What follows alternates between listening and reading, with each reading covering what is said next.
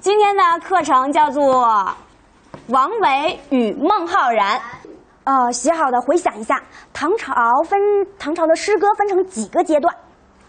按时间顺序，第一个是初唐，第二个是盛唐，第三个，中唐，第四个晚唐，很好。之前我们学的那那四个人，王阳、卢骆是什么唐呢？初唐，初唐。那王维和孟浩然他们又是什么唐呢？还是初唐呀？初唐最厉害的人物就只有王阳、卢骆。接着我们要学的王维、孟浩然，还有边塞二王、高适岑参，这些都是盛唐的呀。所以呢，这个人是一个盛唐的全才。来看一下，这里说到了王维字摩诘，这个东西叫做字，对吧？嗯，字听说过吗？听说过，有人哦，都听说过了。那既然这个是字，那王是他的什么呢？姓，姓。为是他的什么呢？名，名。然后摩羯是他的字。咦，大家都知道这个了吗？我看知道名和字的关系的同学请举手，我看一下有几个。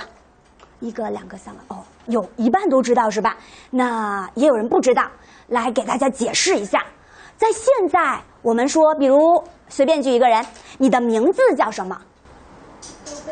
王威林。但是如果你在古代，你问那个人，这个人李白，你问他你的名字叫什么，他得分开回答说，我的名叫白，我的字叫太白。所以就是现在的话，名字是一个苹果，一个东西；但是在古代的话，名和字呢是两个苹果，两个东西，能明白吧？嗯，就是名和字呢不是一个东西，但是名和字是有什么关系呢？我们先来看一下名，名这个东西，古代什么人会有名呢？比如说，你一出生下来，你非常的幸运，你是一个皇宫里边的小王子，然后你是太子，你有没有名呢？或者说你是个公主，你有没有名呢？有。那古代，如果你特别不幸运，你出生到了一个奴隶家庭，你是个奴隶，你有没有名呢？没有，如果你如果这里是一群的奴隶，奴隶们都没有名，那我说你们今天要去种地，你呢负责挑粪，你负责下种子，你负责把种子埋起来。你知道我在安排谁做这些事儿吗？班上边的一号、二号、三号，所以你得安排一下，关心园负责挑大粪，然后 甘州子负责下种子，蝴蝶木哥负责把种子埋起来。这样的话，是不是就清楚了？所以呢，不管你是个皇帝，或者说你是个奴隶，你都需要有名。如果没有名的话，在家里沟通交流简直太麻烦了。那个谁，赶紧吃饭了；那个谁去洗衣服；那个谁，赶紧睡觉了。到底是谁呀？所以必须每个人都有名，所有人都会有名。然后接下来下一个东西叫什么呢？字。嗯，字又是什么人会有呢？然后我们来举，比如举个例子，那许千文和董浩泽他们俩身份不一样。许千文比较幸运，他呢是皇宫的太子；董浩泽比较不幸运，他是一个奴隶，每天负责挑大粪。那你们猜他俩谁会有字呢？他哦，那所以呢什么人会有字呢？首先他必须得是个男的，在古代的话，然后呢，剩下的那些人有可能有字。但是呢，如果说这几个人他们比较不幸运，他们是奴隶，以后没有机会上学，那这几个人很抱歉，你们不会有字。这几个人以后都要去上学，那这几个人呢就都会有字。什么人有字呢？上只要上学的人就有字，对，读书人就要有字。嗯，那名和字呢？这个每个人都会有名，对吧？等你去读书的时候呢，你就会有字。那名和字有没有关系呢？字是随便乱起的，还是说经常呢是有一些巧妙的关系在里边的？有一些巧妙的，对，有一些巧妙的关系在里边。名和字通常有三种关系。第一种关系呢，叫做名和字的意思呢非常的接近，就像老虎和狮子的关系一样。老虎和狮子，你看，除了它的毛长得不太一样，眼睛长得像不像？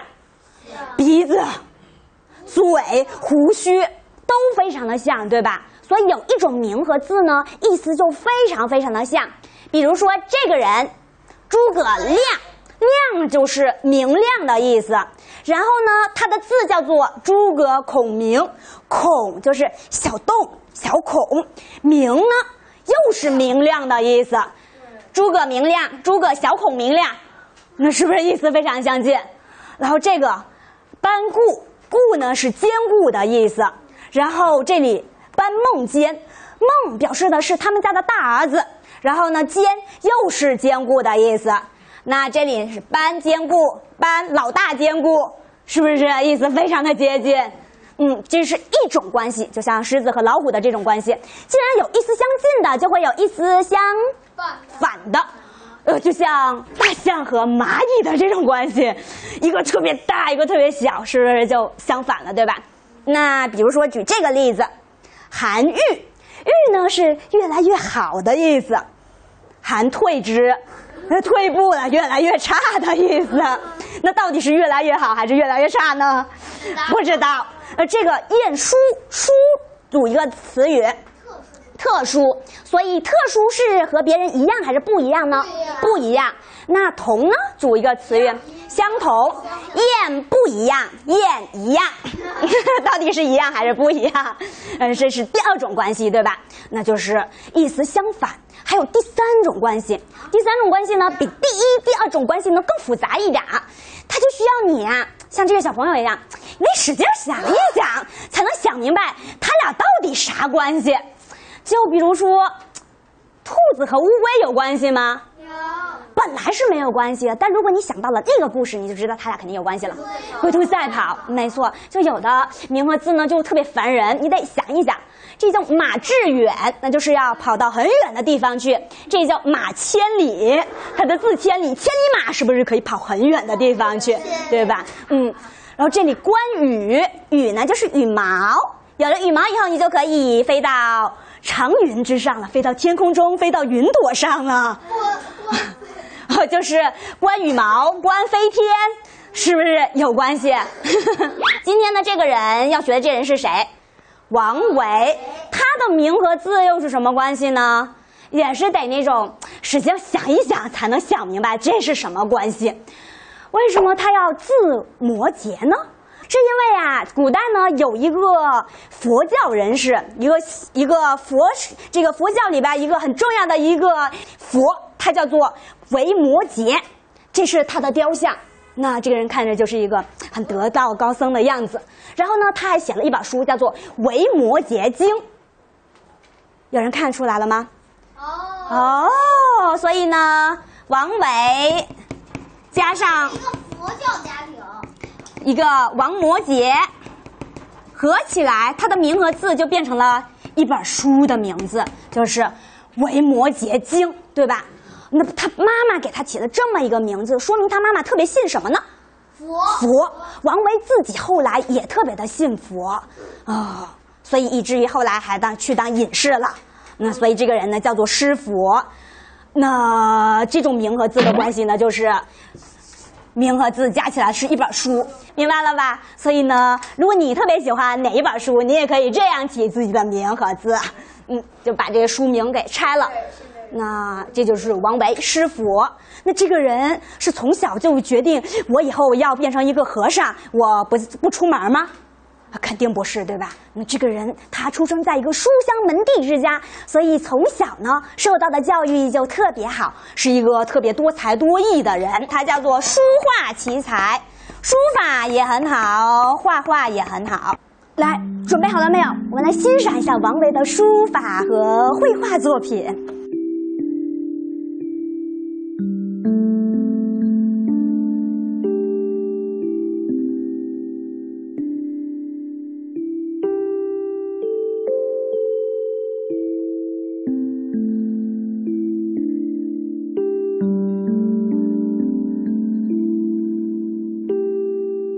是宋朝的大文学家苏轼有一个更棒的评价，怎么评价呢？为摩诘之诗，摩诘就是王摩诘，王维品味摩诘的诗，诗中有画，他的诗好像充满了一种画面感，每一首诗都能让人想到很多很多的画面。诗中有画，观摩诘之画呢？画中有诗，诗中有画，画中有诗，这是苏轼对他的赞美。哦，想好的想一想，除了这个绘画，还有书法这个才华，王维还有什么别的才华？写诗、唱歌、音乐，呃，音乐才华。这音乐才华那不不是他自己擅长唱歌，哦，考试才华是的，他都要。咱们看下一个才华，就是呢，他是个音乐奇才。然后看一下这幅画，这幅画有人在干嘛呢？呃，就在弹琵琶，对吧？然后可能在这边还有人在弹琴。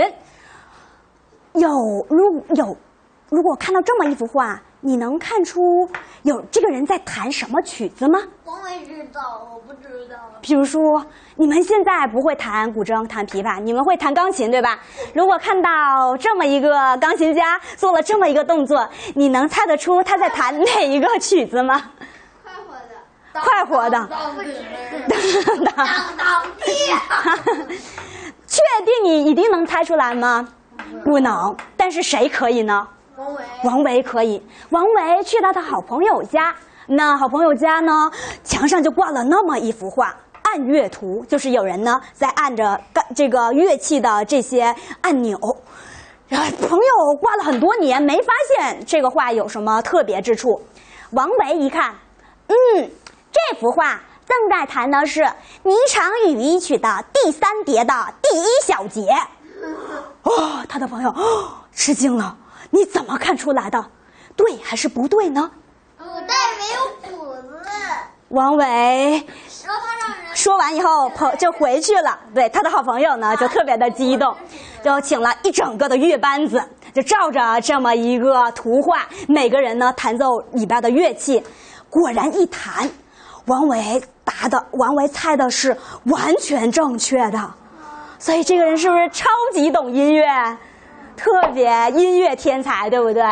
他的音乐才华还使得他变成了唐朝最最流行的作曲家。哎，这是怎么回事呢？唐诗大部分唐诗只是用来欣赏的，还是说是用来唱的呢？用来唱的，都是可以唱的。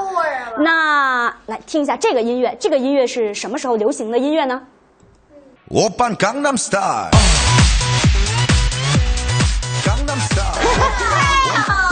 我们现在最流行的江南 style，对吧？那唐朝最流行的是什么 style 呢？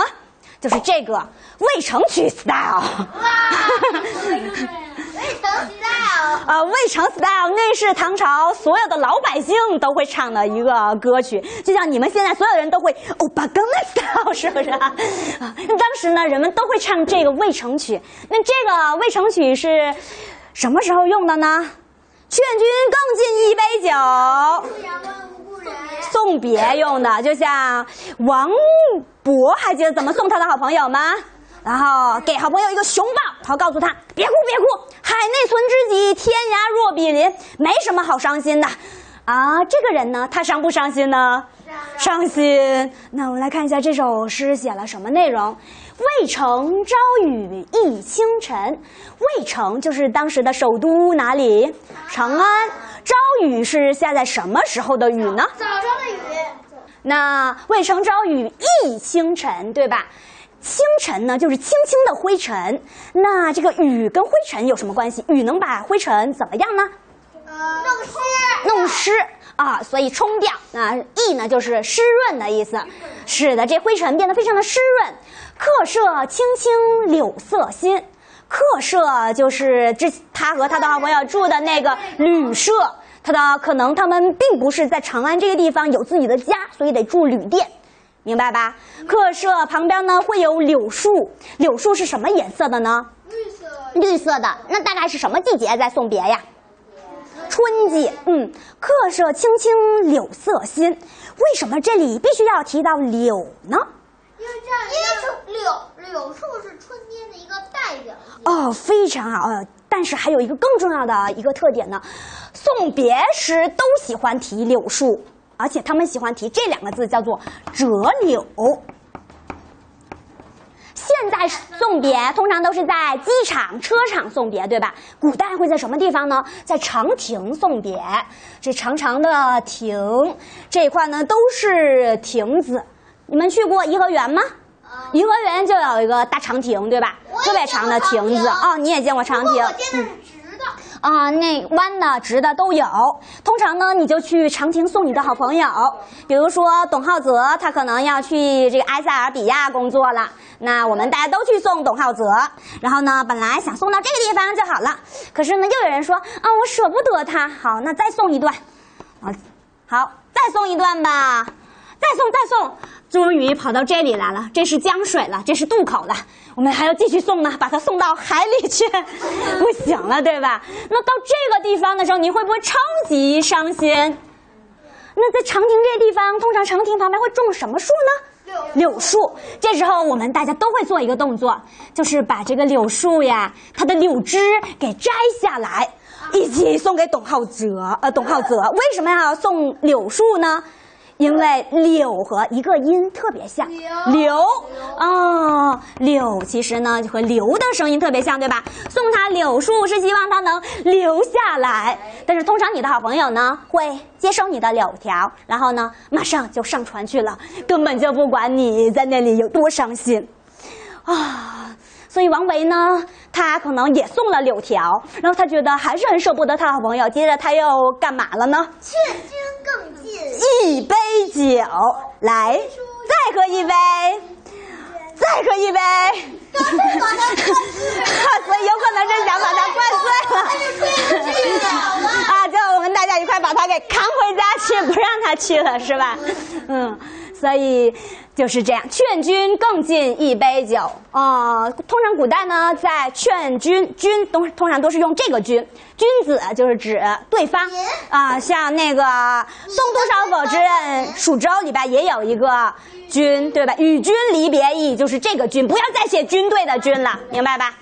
西出阳关无故人。你向西行，出了阳关以后就没有故人了。阳关是个什么样的地方呢？是个这样的地方荒凉死啊，很荒凉。古塞的古代的一个边疆要塞地区，出了阳关以后呢，那就是边疆地区，那个地方就有很多的少数民族在那里打仗。